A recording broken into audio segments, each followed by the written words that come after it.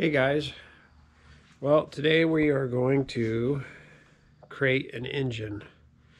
I have an engine here that I want to ship across the country.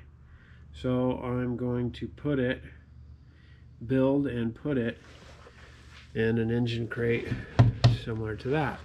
So it can be safely shipped across the country. Well, let's get started. Okay, so we start off with building the runners of the pallet. We're going to build a pallet. These runners are 24 inches long. Then we're going to nail the bottom supports. So it'll be 24 inches by 20 inches wide. Next, we got the bottom ones mounted. Put the top runner on.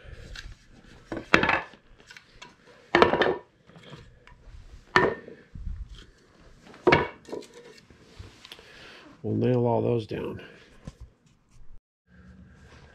Well, once you get all the boards nailed down, I take these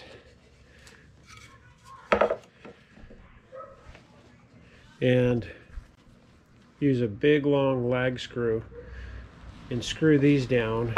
And that holds all of your slats in place nice and tight so it doesn't pop apart.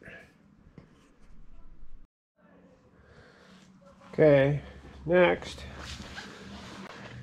You put the engine on the pallet and we're going to build um,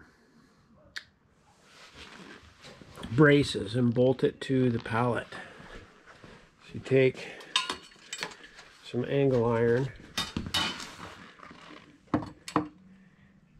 and you bolt it down to the pallet so it's secured.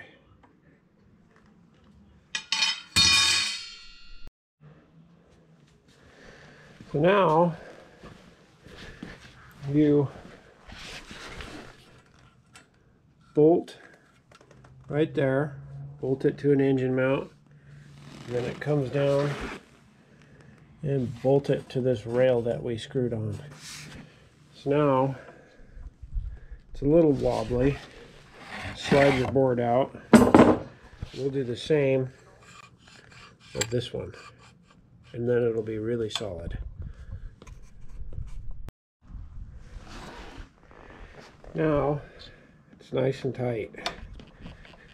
Mean, it wiggles a little bit, but once you build the cage around it, it's going to be really tight. So you got this cross beam bolted, bolted, bolted, all three spots. All right, so now I cut these boards. I like to build it this way. So you put these on screw it screw it down here and uh, then I will screw this side down and then we'll put these sides on.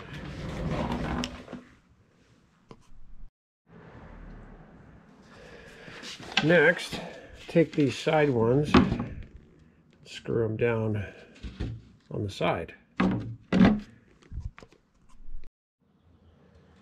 So the last step is to put the top on. And I just nail nail it down.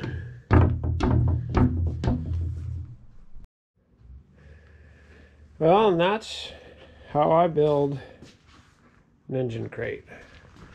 Forklift can grab it right here, pick it up.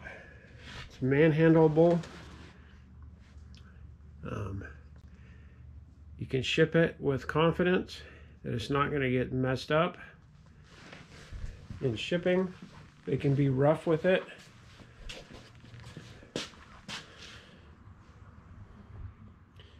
Well, if you uh, like this video, give me a thumbs up, subscribe, tell me what you think. Thanks.